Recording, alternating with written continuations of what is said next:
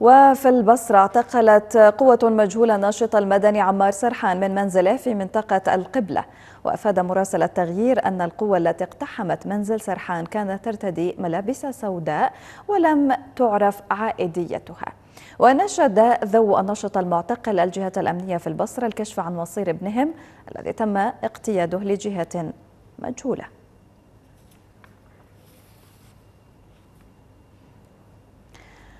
وحول اعتقال الناشط المدني عمار سرحان ينضم معنا من البصرة مراسل التغيير مصطفى الشمري.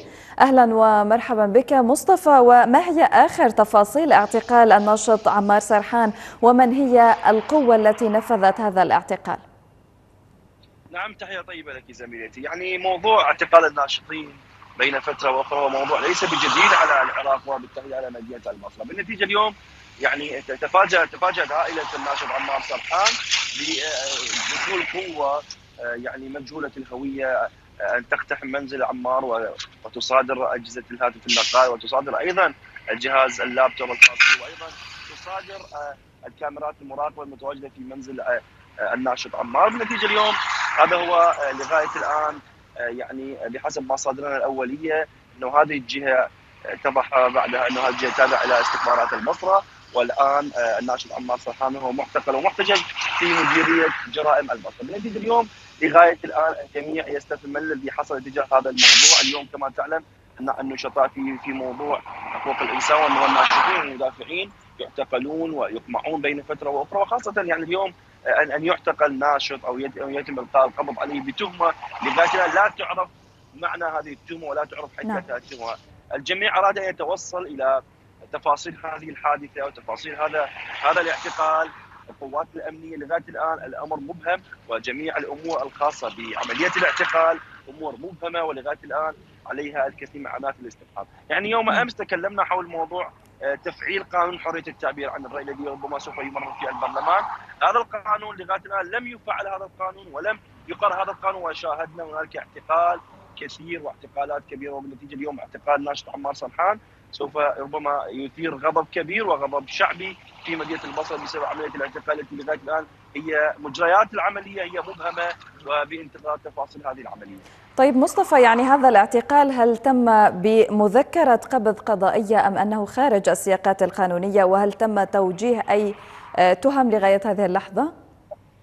يعني زميلتي لغاية الآن نحن ننتظر التفاصيل، اليوم عائلة عائلة الناشط عمار سرحان لا تعلم أين أين أين أين أصبح مصير يعني ولدهم يعني بحسب مصادرنا المطلعة توصلنا إلى أنه موجود في مديريه جرائم البطل اليوم أي قوة كانت قوة يعني تابعة إلى إلى جهة حكومية يجب أن أن تمتلك مذكرة قبض تجاه إلقاء القبض على الشخص المعني. بالنتيجة اليوم يعني بحسب ما مذكرات القبض إنه يجب أن يبلغ الشخص قبل فتره وجيز أنه عليه مذكرة قبض وربما وإذا لم يستطع هذا الشخص أو امتنع للحضور إلى المحكمة سوف توجه له قوة بان تكون يعني تلقي القبض لكن لغاية الآن مجريات حادثه اعتقال الناشط عمار سرحان لغاية الآن هي مجريات مبهمة لغاية الآن لا لا لا أحد يعلم تفاصيلها. نحن ننتظر ونتطلع ونبحث عن ما الذي من من الموضوع القادم. بالنتيجة اليوم